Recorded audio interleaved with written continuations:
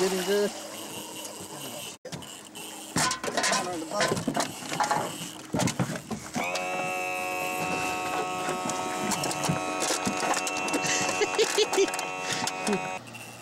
Sucker spot.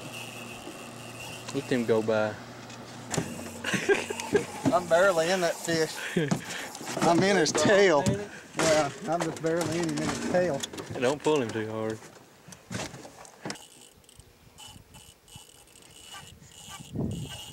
Right in the tail. I don't know what to do but let him run. He's working, if we get a tail, he's working that air out. Quit playing with him, Chris.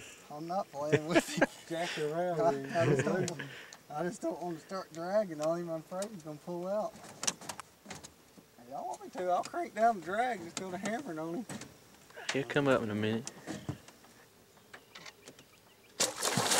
You're in the Got damn him in tail too. Damn. He's in a bad, such a bad angle. You Yeah. can't do nothing with him. Yeah, he shot him the best, uh, best spot for a good fight. Tired. Back hurting. Rita. Just grab that thing right there and yank back on him. Huh? You know what I mean. Reach it.